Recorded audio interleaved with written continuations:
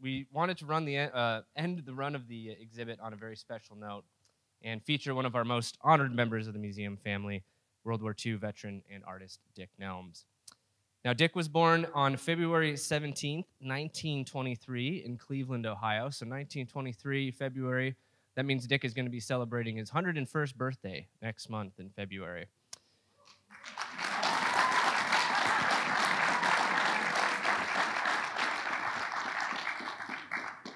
Dick volunteered for aviation cadet pilot training in the Army Air Force in 1942. After receiving his commission and wings in 1943, he was assigned as a pilot on the B 17 as a lieutenant. He then flew to the UK in April of 44 and was stationed in the 8th Air Force 447th Bomb Group at Rattlesden, Suffolk County. He flew about half of his missions as co pilot and then was promoted to first pilot and finished 35 missions in six months' time. For his service, he was awarded five air, mem- air medals, the Distinguished Flying Cross, and four campaign battle stars. After being uh, returned to the U.S., he became Squadron C3 commander for the remainder of World War II, and he received the rank of captain in the reserves.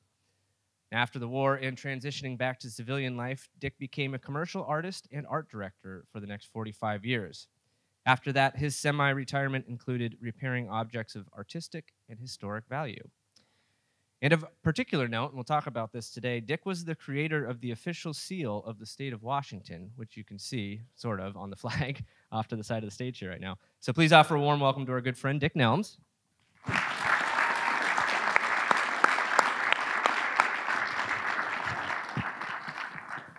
Joining Dick today in the conversation on stage is another member of our museum family, Dave Waggoner. For 26 years, Dave served active duty in the U.S. Army until retiring in 1993, reaching the rank of lieutenant colonel. He served in combat from 1969 to 1970 during the Vietnam War, where he flew in 125 combat air insertions. He was awarded the Air Medal and received a Purple Heart. He also wears a combat infantryman's badge. Uh, Dave retired from King County Metro Transit as a transit operator. He drove buses even during his Army career for 53 years. Please, everybody, welcome Dave Waggoner to the stage.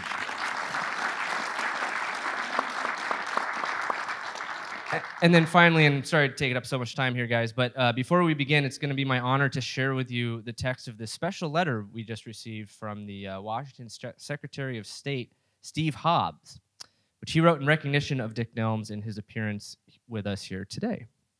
January 26, 2024. Dear Captain Richard Nelms, I am privileged to recognize and congratulate you for your years of outstanding service and commitment to your country. First, thank you for your service as a B 17 Flying Fortress pilot during World War II. To have been in the air during D Day and survived a 10 hour mission to Berlin with a plane full of holes, what a life you have lived. As someone who served in the U.S. Army and now in the National Guard, I know what kind of sacrifice defending your country is. Thank you as well for your hand in something else I am close to the Washington State SEAL. As you know from meeting with Secretary of State Lud Kramer in 1967, Washington's Secretary of State is the official custodian of the SEAL. It is an honor to utilize your design every day. Thank you so much for your hard work and dedication all my best, Steve Hobbs, Washington Secretary of State.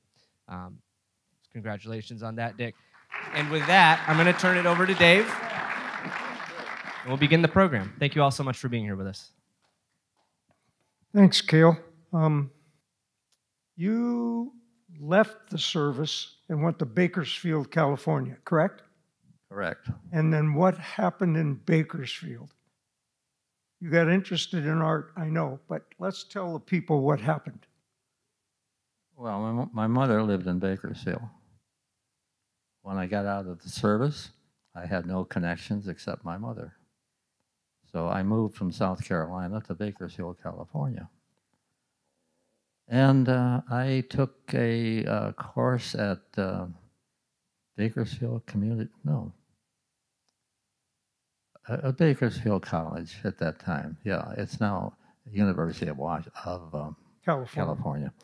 California. but um, decided to um, become an architect and and sent my transcripts up to the University of Washington. They refused them because they had no room for out-of-state applicants. So there I was, and uh, I went down to the uh, the VA to see what might be open for someone like me, and and he said, "Well, what did you like to do?" And I said, "Oh, I always liked to draw things, but I, you know, I en- enjoyed just scribbling." And he said, "Well, there's an art school opening up up on uh, uh, Capitol Hill. Why don't you go up and talk to him?" And I did, and I joined and took over th- over three years of art training. All about drawing. It was all about drawing, wasn't it? In the very beginning. All about drawing, using the pencil, and uh, doing all that kind of work. Uh, question Why uh, was the U filled at that time? Why was the University of Washington filled? Too many veterans coming home? Uh, yes, yeah. They they uh, all all the veterans coming out um, were, were usually drafted before they got into college, and some out of college, and they wanted to continue their education. So they flooded into the University of Washington, and there was no room for any out of, out of state people. state people. Would have cost much more as well. Um, then after the art school, what happened? Well, I became um, employable. Barely. Got a job with a one man ad agency and uh, learned quite a bit. I became the art director, which is not too much of a deal at that time. But um, then I was hired by a, uh, la- larger uh, ad, ad agency in Tacoma. And uh, that didn't work out too much, too well, because I wasn't ready for advanced stuff like that. And uh, the art director did not help. And there was a lot of uh, uh, things going on, the political, political things that I just didn't like. So I went back to tonight to um, Seattle. Seattle. I almost said Niagara Falls. I went back to Seattle and uh, started freelancing in, in the top of a uh, printing company, a little space up there.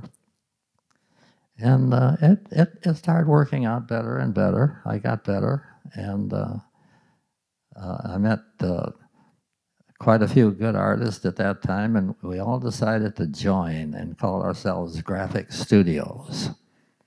And uh, I, I could name them all. One, one Bob Cram, who was a cartoonist, and Ted Rand, an excellent illustrator. Irwin Caplan, a wonderful cartoonist, and and uh, Roy Miller and me. It it uh, it worked out very well. We used to joke about it that we'd be together more than we were, were would be with our families. but that uh, th- that was pretty much my art experience. hmm I know that um, last week we talked, and you told me that there's a lot more for folks here to understand about graphic arts and all that takes place. Maybe you want to explain a little bit of that. Yeah, uh, at that time, uh, the computer, of course, wasn't being used, and uh, the telephone was your lifeline. If it didn't ring, you were out of work. Of course, we'd hit the bricks, go around and meet people, meet art directors, and and the advertising agency was pretty much the lifeblood of the artist at that time.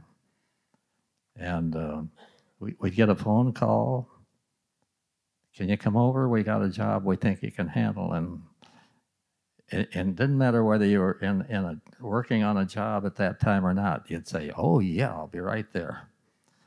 And uh, the, let's say he, it was an art director of, a, of an ad agency. He would have thumbnailed out some ideas that he wanted me to carry through I would get pages and pa- pages of the typewritten copy that was going to be in this ad, and uh, that's all I would have. I'd take it, take it back. The first thing I'd do would be to uh, set set out the uh, type, the type size, and how much of that page it was going to occupy, to see how much left of the page I would have, whether it be photographs or illustrations or whatever.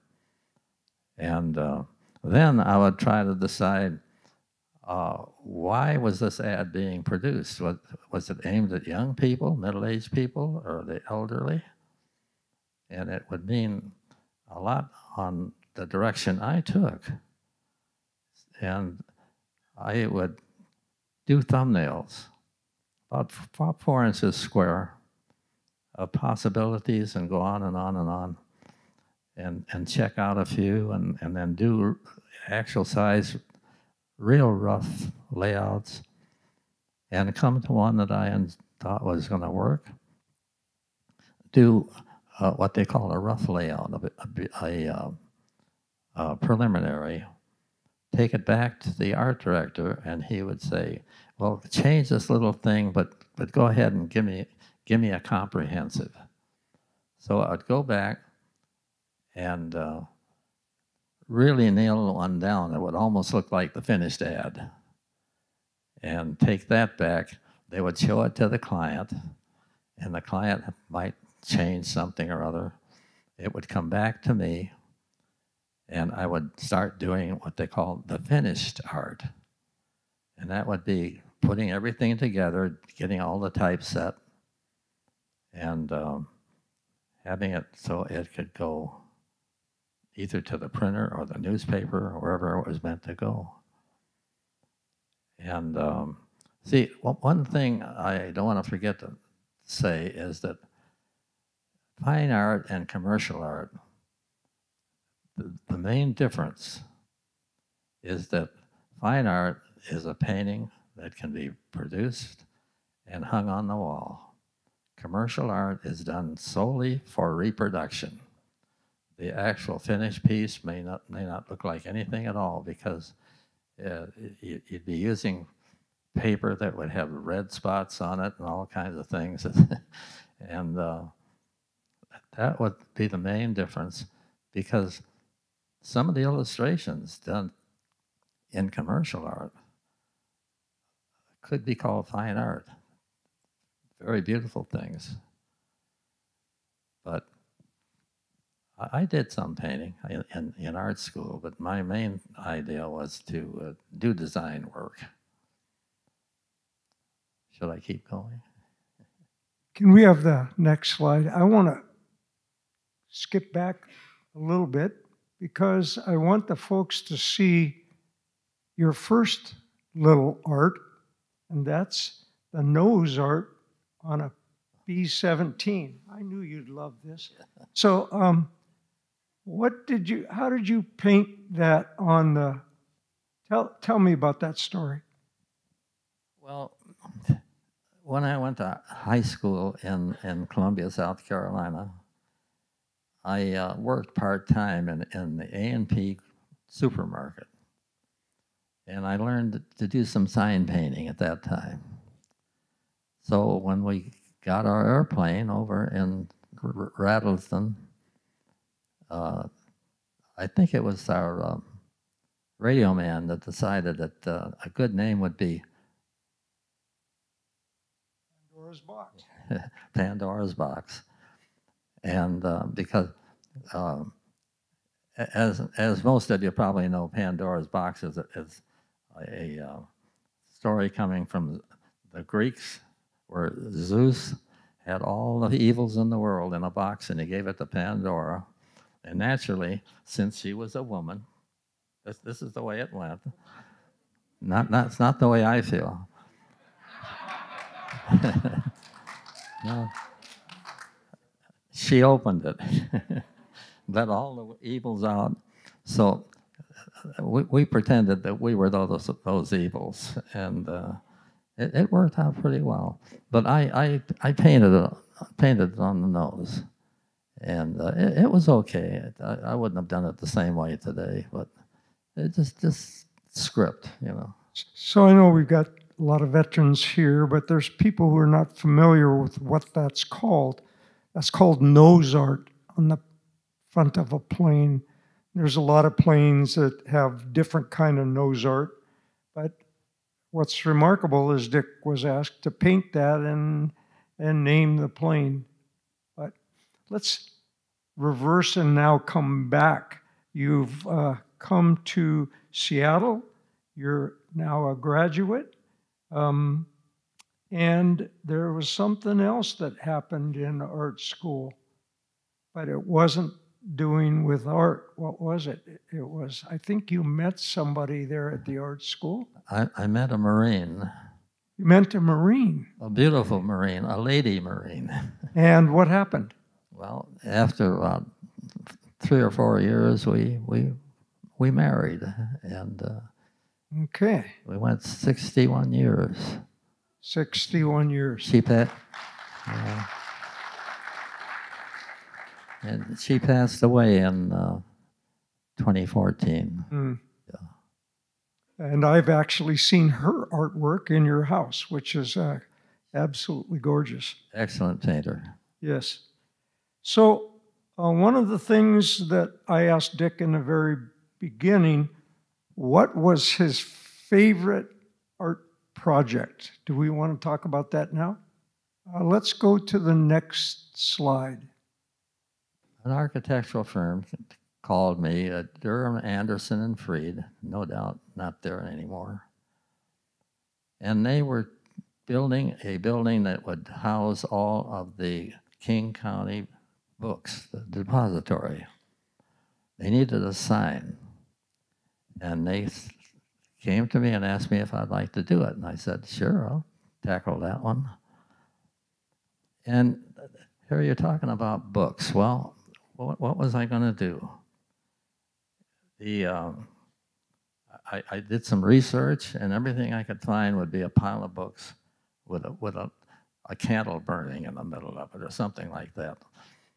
A, sign that um, that designates a, a, a function of a definite building has to be simple, has to be strong. So I, I worked from that. I, I, I thought, now, a book is nothing but a piece of matter unless someone decides to read it. Then it comes alive when that first page is turned. And I felt so good about that. It just, I didn't have to work real hard trying to think of a good design. And uh, the architects were delighted, and, and uh, the King County uh, administration were liked it okay, and and I I got to uh, well we- West Coast, not national West Coast awards on, that on, on open open competition, and it, it's it's my favorite because it just snapped, and I felt I I just couldn't possibly do a better job because they see that book and that's that's a depository, you know. And that's what's on the screen right now. You, you've seen the picture, so you don't, don't turn around, but that's what's up there. So when you see that logo uh, on the King County building, um, you told me that the first time you saw it was at night and it was lit up on the side of the building and it was blue, right? Uh, what the folks probably would like to know is from the early 70s till the year 2000 as was the logo for King County Library System, and Dick designed it. And uh, it sat there. So, what a symbol for all those years. Uh, Roberta and I went down to, to see the building. Building's gone. Um, some of you will know where it was uh, if you're a Seattleite. It sat down by the old King, Count, uh, King TV station on Dexter um, not very far away from that. And that logo then became the trademark, right, Roberta? The trademark. And so 30 years, Dick. That, that was there for 30 years. No wonder it was your favorite. Uh, someone told me that the sign was now at the Museum of History and Industry, that they didn't just throw it away. Oh. That's good.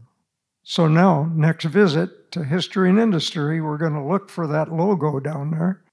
You also ask, I ask you about, uh, give us an example of how you approached projects. How did you approach them? You told me uh, you had a systematic way to approach projects. Well, I said a little bit about that already, but um, it, it would depend on, on what the project was, of course. If it's an ad, a magazine, or newspaper ad, you go at it slightly differently than if it's a multi page brochure or an annual report. And um, the, the first thing you have to decide is what is it for? What's it supposed to do? and all the art involved is supposed to support this. And and uh, I I could think a lot more uh, more about it then than I can now, believe me. But um, the um, the main objective was to do something that would answer the problem, not too far out you, you, didn't want to. Uh, one of the biggest problems, I'll say, was had had not to look like any other thing, not to copy something, de-copy it. Make sure you don't look like something else because they're expecting originality, but you can't get too original, then they don't understand it. it it's kind of a iffy thing, and uh, but mainly if, if you do your best work and you know what other artists are doing and, and you don't want to get too far away from what's being done every, everywhere, uh, you, you can come up with a come up with a good job. Later on, I'll mention that uh, uh, ad, uh, after the ad agency situation, dealing with other people like that, uh, it, it, was it was good and it, it was uh, a good money maker. But the fun thing was when I did some corporate identity programs, where you'd go into a company, decide a new trademark, and take it through everything: stationery, trucks, signs on the building, do the whole thing. And boy, that, that that's a lot of fun. And uh, I, I ended up doing quite a few of those. But um, is that pretty much it? Yeah, that's it. But you, you just hit on fun. Can we have that next slide, please? I want to talk about something that was supposed to be really fun. This is about a band that existed out on Mercer Island by the name of Reflections. You know that? This was a band that my son was in. He was the bass player. They started out just by playing together at, after school, and the school gave them a, a special place they could come up and practice. And uh, by the time they were uh, freshmen in high school, they were playing for colleges. They were quite good. They called the name Reflections, and uh, I designed the uh, well, it's actually a, a, a, complete uh, package that we would send to the to the uh, per- person that was going to have a dance. Well, they had an, they had an agent, and uh, the, the the the situation here uh, went to a photographer that I knew, a good good photographer, and told him the problem, and and we we agreed that it would be nice to show a reflection, them and then them again upside down. And how are we going to do that? Well, let's put a, this long table and put a mirror along there and adjust the mirror so in the, in the lens of the camera, you've got that. And it, I think it worked out very well. And uh, then inside, I had their business card, uh, a little bit uh, of uh, history about each one of them, and uh, uh, let's see what else. Oh, a large poster that they could put up in school. Pretty much the same thing. But that that was a lot of fun, and and of course I didn't charge them anything for it. But you were the graphic designer. yeah. Yeah. Uh, so the other day when I, I surprised Dick that uh, we found this on a deep dive about this, the reflections. I showed his son Garrett and I said, Oh, we're going to talk about this. And he says, Oh, God. so, yeah. Uh, but fun stuff. And uh, Now he's uh, a professional bass player. yeah. Yeah, he's very very good. So I guess uh, one of the last things that actually came be- before the logo, I think. Let's talk briefly. Can we have the next slide? The seal of the state of Washington. Yeah, but it's big. Um, so why don't you tell the story? well, I'm not sure of the date, but it was in the early '60s when something came up in in, in uh, Olympia where they wanted the state seal to use, the, the, the real seal that would clamp down on a on a piece of paper and leave a leave a mark. They couldn't find it, and that became quite a quite a terrible thing. See, and one of our art director people was a member of the art commission of the state of Washington. And he got into that and said, uh, let me get stationery from all of the agencies of, of the state. And they, he did, and not one had Washington looking like another. They were all different. And as uh, all designers would know, a, a person has one thing, one logo. A company has one logo. A, a country has one flag, and it goes on like not not twenty of them. And so he he he he sold that that idea. You need one logo for the state of Washington. The original back in 1889 was was told that the Secretary of State uh, took, took a postage stamp and put it down on the paper and then put an inkwell on top and drew a line around on the inkwell and, and had a circle around the around Washington, and that that impressed me, and uh, I, I figured that this is this is no place to showcase myself, to do something very contemporary then two days later it has to be redone. It's out of style. So I went back and, and got some research on, on uh, art that had been done then, pen and ink work. And uh, I, I found pretty much this and, and re- redid a lot of it. And, uh, and, and the original, original had uh, a cross hatching in the background, lines crossing like that. But um, I, I was, um, I was, I figured that's that's enough. I, I, I, I, was pleased with uh, with the situation, and it went to a vote in, in the legislature, and and all- one person did not vote for it. Guess what his name was? Nate Washington. and right or wrong, he claimed that he was a descendant of George Washington. And, and, and, and as long as I'm a descendant of George Washington, I, that doesn't look like him. and and uh, but he, he had his say, but it didn't, didn't make any difference.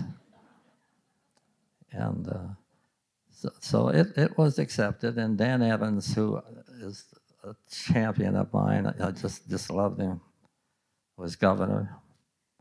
And uh, we, we had a lot of fun afterwards on that. I think you said that what you loved about it was yeah, you, you don't like that really big, but if it really came down to a smaller seal, Yeah. it really had the appeal that you were after. So it could be big or it could be small, but it was still that same seal. Yeah, well, that, that was one of the problems, yeah, that when you do something like that, that uh, can it, can it work large or can it work about an inch high? And, and it can. Even when those lines fill up, when it goes real small, the shadowing and everything looks okay. And that, that was part of the problem. Cool. So we're at the part of the program now where we're going to let the folks ask their questions. Okay. And as Cale said, if you'll come to the mic, and what Dick and I agreed to was can be a question about World War II or a question about art. Um, what are your questions? And please don't be shy. First of all, I wanted to say I'm from Bakersfield too. I grew up in Bakersfield, so there's something we have in common. Um, I wanted to ask, um, because you were a pilot and because you were a co-pilot of B-17s, was it easy to design the Pandora's box, being a pilot and everything with that, or did you design that before being a pilot? or was how did you design that based on your own B-17 experience? Uh, well, we had the airplane. Right. all 10 of us had decided that was going to be our airplane. And uh, I, I actually think we flew a mission in it before I painted that on there. Because uh, all, so many of the other planes had, had pretty good artwork. And they said, we got to have that too. And they said, well, let's say Pandora's box. So I did it then. I, I had no training other than being a sign painter at, at, in a grocery store. Does that answer your question? Yeah, and I actually have one more. Um, if you guys don't mind, this is for both of you. Um, when you're first starting out in the military and people are just like yelling at you and stuff, and all this stuff that goes on when you first start, was it easier to be a commander or was it more stressful because you'd already been through it already? My my ear, no, don't uh, it hadn't picked up a lot of what you said. What, Let me let me try that. So when you first went in, I think your experience when you went into basic training and then went to flight school, going through going, and everybody's yelling at you when you first drill sergeants doing that kind of stuff. yeah. Um, how how did that then affect you? Uh, so that later on in your career, was it easier to be? Is this? Am I going the right way? Yeah, like was it easier to be a drill sergeant having been through all of it or what or a commander having been through all of it or was it harder or were you more sort of compassionate? Uh, I don't I don't think it had any effect on me. Okay. and in um, uh, when we first uh, got uh, when they first got a hold of me, I'm gonna put and took took me to Nashville, Tennessee.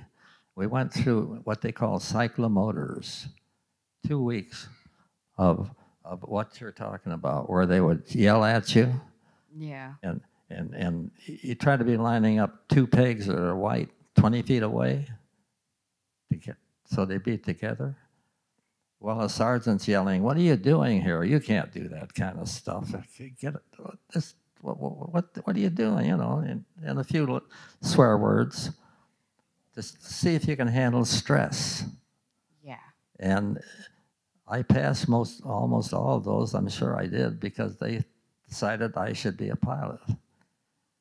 Those that uh, were very intelligent and uh, maybe didn't do as well, they sent to navigator school.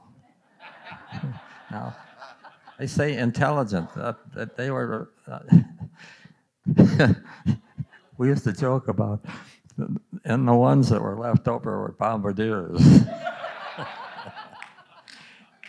I, didn't get to be a Please. pilot. Rah! Please, I'm, I'm, I'm joking a little bit here, but uh, uh, yeah, it, uh, the whole training in the Air Force, the combat I went through, everything, all made me stronger for the rest of my life. I, I, it takes a lot to make me afraid right now. Boo. Can't remember the last time I was afraid of something. And, and to help Dick, one of the other things they want to do is not only see your stress limit, they want to make you quit. And if you don't quit, you're going to get better and better and better. Um, for me, I went through officer candidate school, which was a lot of yelling every day. And pretty soon, you start laughing at some of the yelling because, uh, let me give you an example. When we were in there, we were hungry all the time. And so at night, some of the wives would bring pizzas out to the parking lot, and we'd have to go out to dump the trash. So we dump the trash, we put those pizza boxes in the garbage can, sneak them back in, right? Well, uh, TAC officer would smell that, and and so what we learned how to do is this bribe him, and then he'd get off our back, and that's how we dealt with it. So you learn after a while how to deal with that stress, and and then it doesn't bother you like that. So that that yelling, all that is is try to break you, and and you don't break, you become a stronger, better person, and a better soldier. So that's how I see it. And for me, it lasted 26 years. So um, I'm grateful for it. Thank you, and thank you both for your service. Yes, sir. Hi there. Um, Captain Nelms, uh, thank you for being here. This is uh, uh, honor. And I have a, a quick question about your retirement. And when you retired, were you using computers uh, by that time? And how computers impacted your artwork, if you had been using a computer at all at that time? Did you use computers at the end? Oh, in artwork? Oh, yes. No, I, I always um, felt that my thoughts should come out of the end of a pencil. And uh, maybe old fashioned, maybe I didn't want a computer at the time, but it just started in as, as I became, uh, well, I never did quite retire, but uh, uh, yeah, it, uh, it, it didn't help me. I, uh, I don't think it would be now. I, I, I thought it would make it too easy to create something, and should be should be difficult. I, I don't think you're retired, Dick. You come here every Saturday and stand out by that B 17. you know, how many other people? I don't see you as retired. Well, let me, let me just add something quickly. To, uh, this this museum has rejuvenated me. It has given me a new life, and at my age, you, you lose your friends. Most people leave us before they get to be a hundred, and and I've I've found some wonderful new friends, and I, I just can't say enough for it. Yes, sir. I, I was wondering for you when going into um, Capitol Hill. I, I went to art school in Capitol Hill as well, and it was uh, it's a very different time. I was curious what it was like to go from a soldier to an to an artist. If it was the same art school. No, no, just what what because for, for, for me there was um uh, the, the cultural difference was was really big. Oh, What it, what it was like to go from being a soldier, uh, and then now you're a civilian and you're going to art school. well, it, it wasn't difficult. I uh, I remember when it was time. You know, we got points. It had a point system. Being overseas, you got points. Being in combat, you got points. So forth. I, I was fairly high, and it came to a time where I had to either decide to s- re-enlist in the army or become a civilian. See, it was the Army of the United States at that time. in order to stay in, you had to reenlist in the, in the regular army. Well, to do this, you, you stood, you sat in front of a general that was asking you, what did you want to do? And I said, well, sir, would I still be flying? And he said, uh, sure, Nelms, you'd be flying, you'd probably be flying a pencil. And by that, he meant what they wanted was my experience, my intelligence behind the desk, where it would be important. They could get pilots just like that, one night after another. And I said, Well, sir, I think you've hit it on the head. I've always enjoyed drawing, and I'm either going to be an artist or an architect. And he said, Well, sorry to leave, sorry you're going to leave us, but go for it, you know. And, and that was uh, pretty much it. Does that come close to your question? okay. Uh, Dick, I'm Jerry Souza, one of the uh, Thursday docents here. And Yeah. I've uh, listened to your story at the Quonset Hut for uh, quite a while. I'm working up a, uh, I've been researching, working up a, uh program for a World War II tour. And I came across something I wanted to ask you about.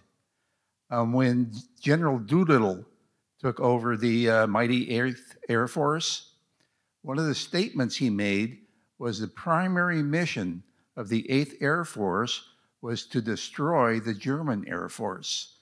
Without destroying the German Air Force, you couldn't have invaded Normandy on June 6, 1944. And the secondary mission was, of course, to destroy the German uh, factories. Were the crews aware that their primary mission was the destruction of the German Air Force? Uh, no, no, we we just knew that we had to go over and bomb things that were helping Hitler stay in war, and I think we did one heck of a good job. Well, I totally agree with that. Thank you for your service. Yeah. I can't. Dick is one of your newer friends at the Museum of Flight, and I'm so happy to have you here. Uh, what was your most memorable combat mission with the 447th Bomb Group? Oh wow. I know it's an oh wow, maybe D-Day or what? What was your most memorable mission? Well, the one I, I tell most of the time is my second mission to Berlin, where we had what they call a maximum effort of the 8th Air Force going to Berlin, the, the Berlin area, not just the city. Uh, our group never did bomb the city. We had a target that was, like I say, keeping Hitler in the war.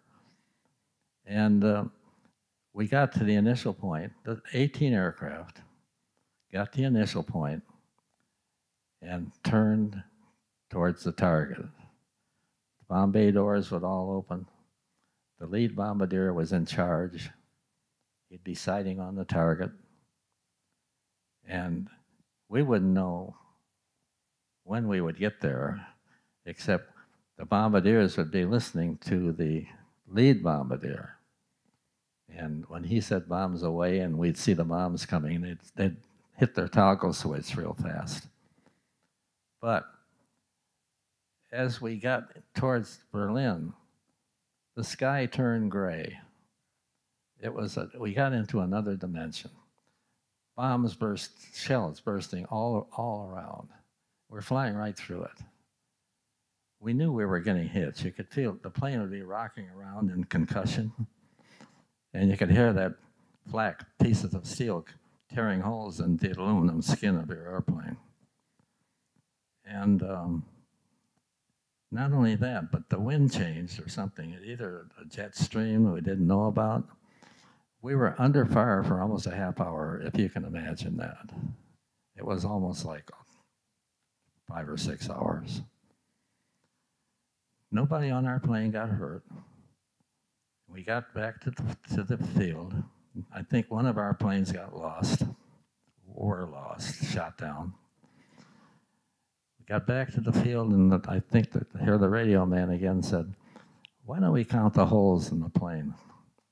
Well, we took a lot of damage. We started counting and got tired of counting at 300 holes in that airplane, and you couldn't tell from flying it. Nothing vital had been hit.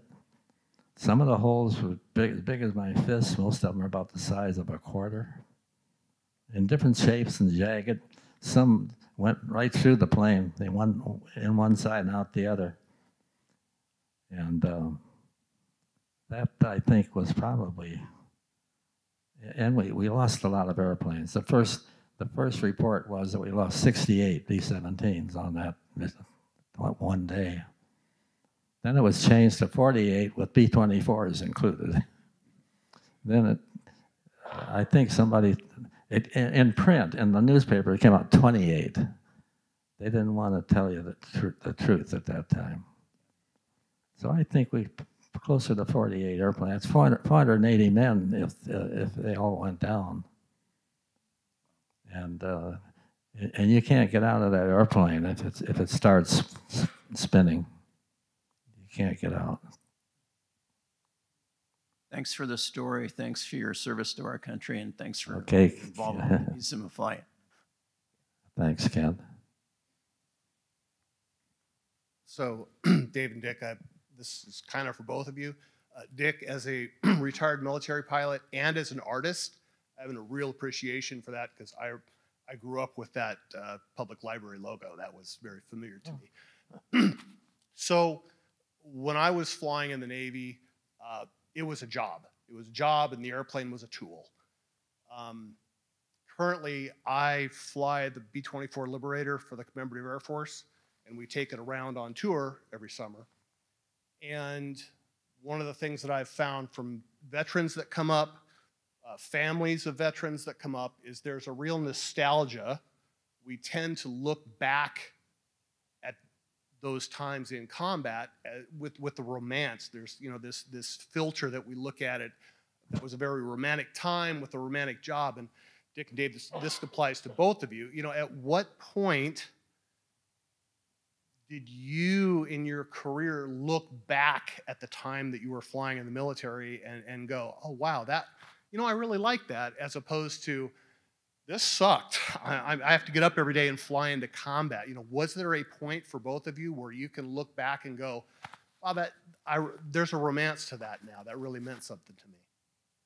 Oh, after I did my tour, I stayed with the field for a while, became squadron duty officer with a Jeep and did various things.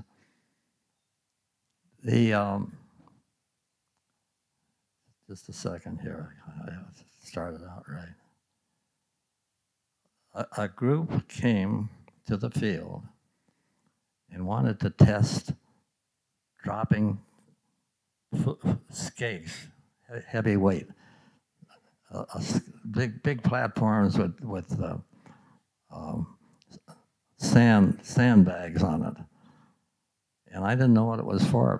They wanted me to, to help, so we, we they loaded up the B-17 with those things underneath, and uh, finally they told me that it was to be. Um, uh, food, food and supply drops to the French Maquis underground, as well as food to countries that were starving. And uh, I said, "Oh, okay." And so I, I figured out the, the right speed and the right altitude that I felt would be good.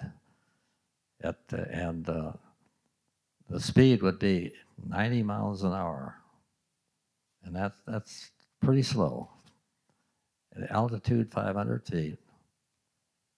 And um, I wrote some of the specifications. They dropped them, and it worked out just fine, just what they wanted. The, the parachutes would catch it just before it hit the ground and would not break up. And uh, I later found out that uh, these missions were taking place, and that, that I felt pretty doggone proud of that, that I was involved in, in, in, in uh, saving lives. And uh, I'll, I'll quickly go to one more. Probably my most valuable mission, two of them, where our troops were being held down after D Day in the St. Lo Peninsula near Normandy by superior German forces. And our group, as well as other groups, uh, carried anti personnel bombs and dropped them just a couple miles in front of our own troops into the German area.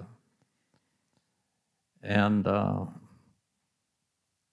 after two days of that, the German general was, was quoted as saying, I have no more troops, no more guns, no more tanks, everything is lost. Which was an over, they, they still had some, some opposition going on there. But we saved thousands of American lives. By we, I mean the 8th Air Force that had, to, that had this mission to do. So those two things, I think, were things that I'll always remember and be glad that I was in on it. Yes, sir. In regards to your dropping food, that was after the combat, after the uh, Germans had surrendered?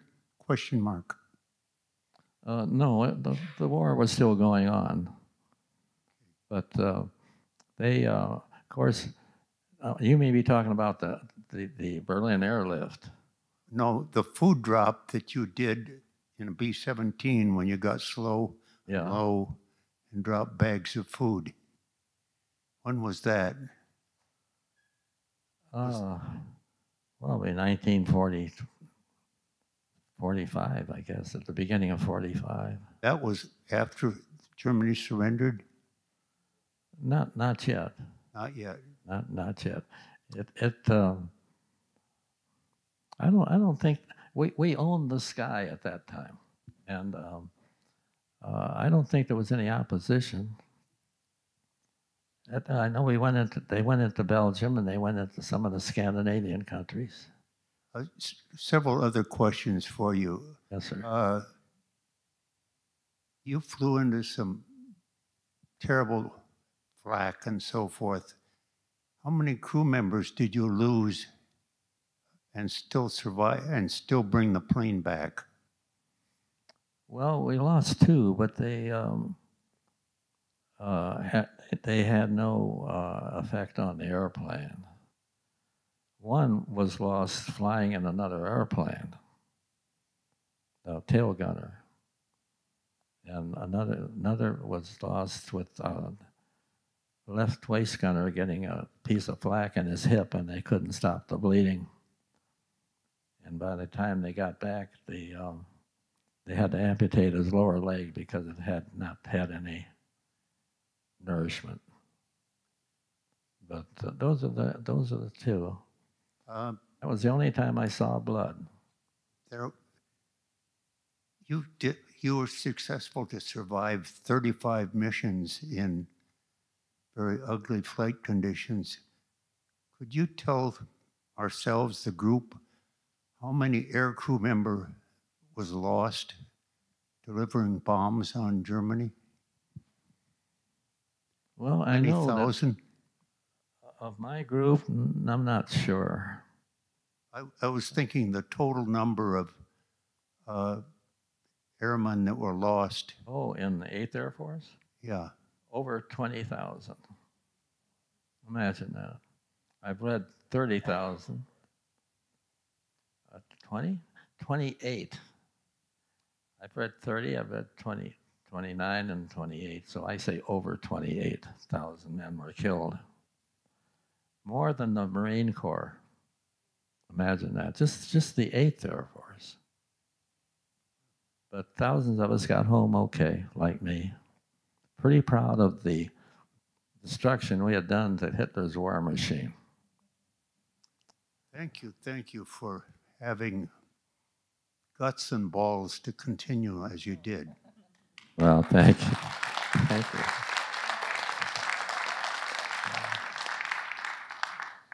Hello. I was wondering what was the first time you flew a plane, and if you noticed a difference in the way that the public um, felt about planes after the war, having seen the success of them um, being a tool um, during that time. Uh, if that's something you ever think about.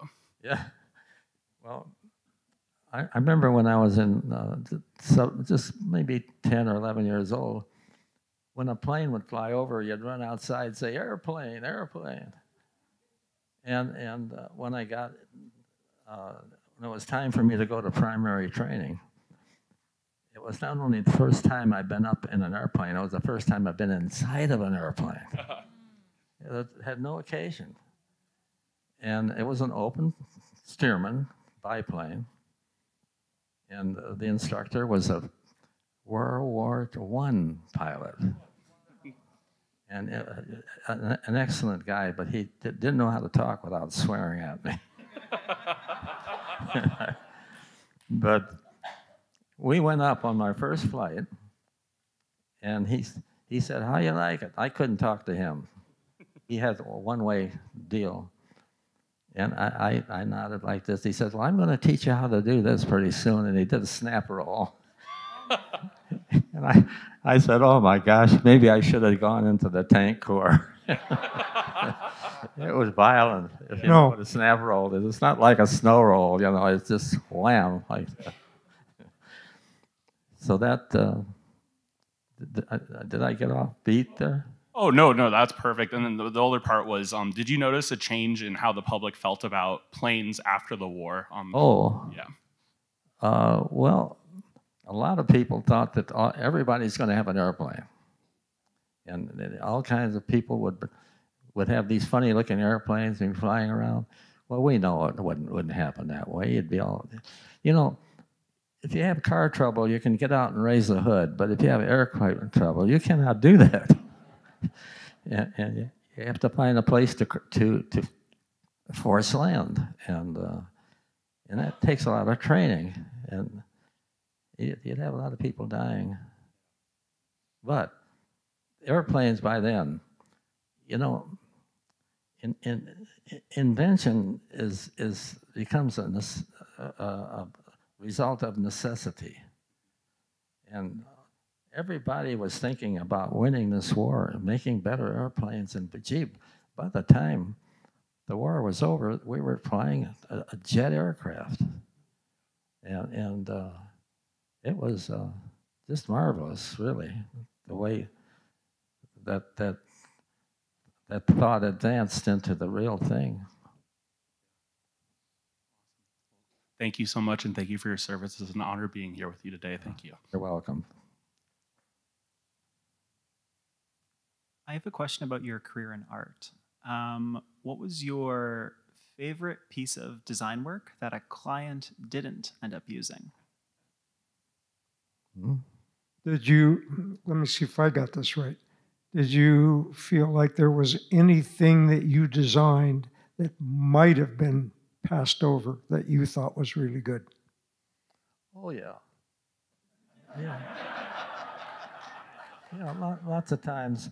Well, with ad agencies especially, they, they were afraid the client would get upset if you showed them something that was too far ahead. And uh, and artists, as most of you people know, when you, when you can create something that you hadn't done before, and it worked, and you liked it, the color balance, everything looked good, and then they say, uh, "No, you're going to have to do another one." but it, it would happen. And uh, with that, I think we're done. Um, and thank you all for being such a wonderful audience. And uh, thanks, Dick. Are we out here at three? It's 3:08, so we did pretty good. Thank you both, Dave and Dick, and thank you all again for being here with us today. Let's let's have a good round of applause for these gentlemen.